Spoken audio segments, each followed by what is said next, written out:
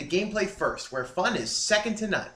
My name's Tyler, and I like watching robots beat the crap out of each other.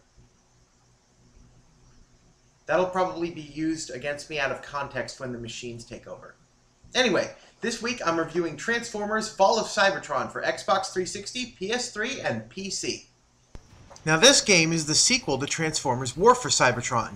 The original game was absolutely fantastic, but could the sequel possibly live up to its predecessor? I mean, the first game was good, but this isn't going to be like an updated version of the 80s cartoon, right?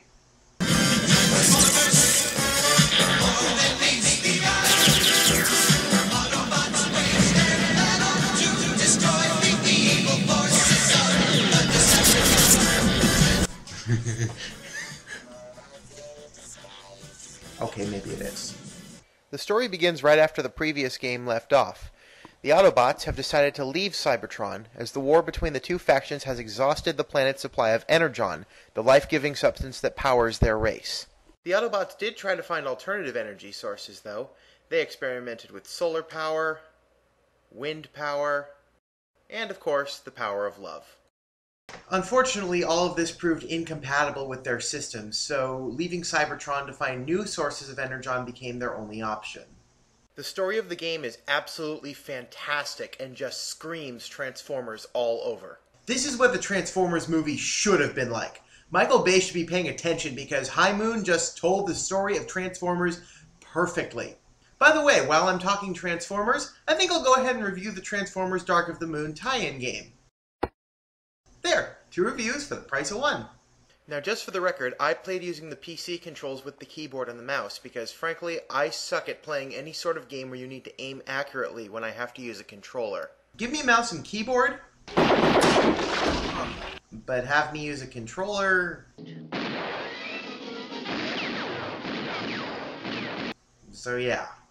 The gameplay is basically the same as the last one, with some notable changes. For instance, now you can press a button to change the hand that you're wielding a weapon with, allowing you to aim more quickly and efficiently.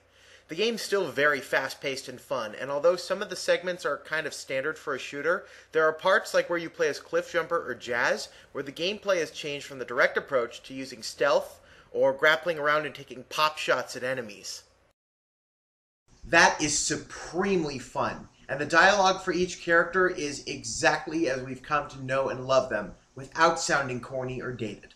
This game is just an improvement in general. The levels are bigger, there's legitimate vehicle sections, and the playable characters are not only numerous, but they're exactly who you'd want to play as.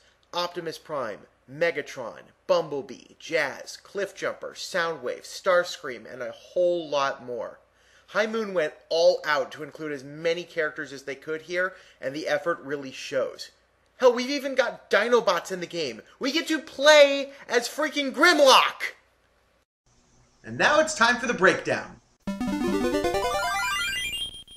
First, gameplay. 8 out of 10. It's fantastically fun. Some of the earlier segments are a little bit standard for shooters, but the later segments where you get to play as different characters, it becomes way more varied and interesting. And I personally had the most fun playing as Jazz. The game looks great. The character designs are polished, metaphorically speaking. Everything about the world is amazing, and even Cybertron itself feels like it's alive, metaphorically speaking. 8 out of 10. Now, I would have given audio a little bit of a lower score, but they included a gun in the game called the Throwback Blaster. Now, although the gun is kind of useless in and of itself, it does change all of your character's sound effects to effects from the original 80s TV show. Everything from transforming to the lasers themselves. Because of that, I'm going to bump up the score to a 7 out of 10. The story is absolutely phenomenal. It is written like an episode of the 80s cartoon show updated with modern graphics and action sequences. Everything about it was fantastic. Any Transformers fan would love it. And as a Transformers fan, I really wanted to see what would happen next. The only problem is that if you're not a Transformers fan, you're probably not going to care, which is the only reason I'm not going to give it a perfect score. 9 out of 10.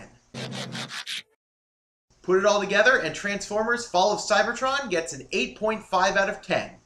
It's a game for fans of Transformers, so if you are a fan, You'll love this game. I highly recommend it. Go get it. If you're not, maybe skip this one unless you want to play the multiplayer mode with your friends. Thanks for watching, guys. For Gameplay First, this is Tyler, signing off. Roll out!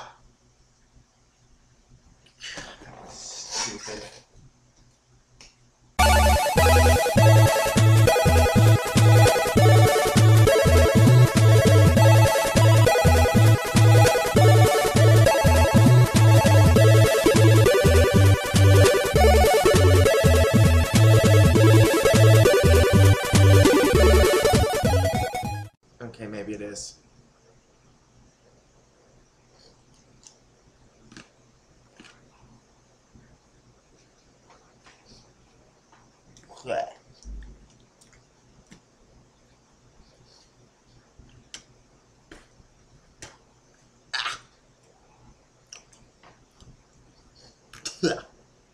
Note to self: don't eat the props, especially when they've been sitting in the pantry for a couple months.